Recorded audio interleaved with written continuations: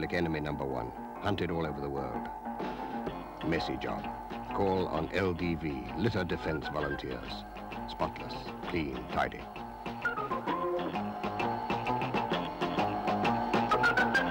With good humor, they strike against public enemy number one wherever he operates.